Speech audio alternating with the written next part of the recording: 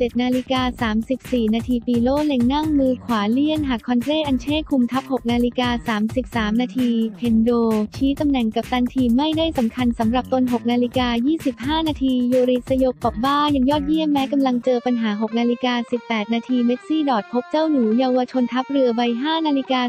19 นาทีงูใหญ่พร้อมปล่อยยูโตะให้กาลา แค่ 5 ล้านยูโร5นาฬิกา9นาทีบุฟฟอนย้ำยังไม่คิดเรื่องแขวนถุงมือ4นาฬิกา17 นาทีเอเย่นยันยูเวนาโปลีซนเบเยรินสุดมั่ว4นาฬิกา 12 นาทีปารีสจืดมอตต้าอดช่วยทีม นัดชิงเฟรนลีกครับ4นาฬิกาโอบหลักยังอ้ำอึ้งอนาคตตนเองกับรามี3นาฬิกา 17 นาทียอริสรับเจอทีมอเมรา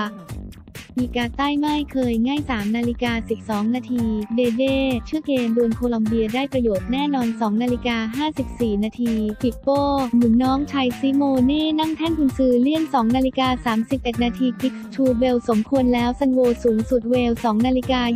25 นาทีเหล็กหยิบเชือกกราไก่เล่น 4 4 2แต่ไร้เงาปอกบ้า2นาฬิกา19 นาทีเสาเกตยืนยันพิกฟอร์ดเฝ้าเสาเกดวลดัต2นาฬิกา2นาทีเบลรับไม่อยากเชื่อพังสถิติซันโวรฐ1นาฬิกา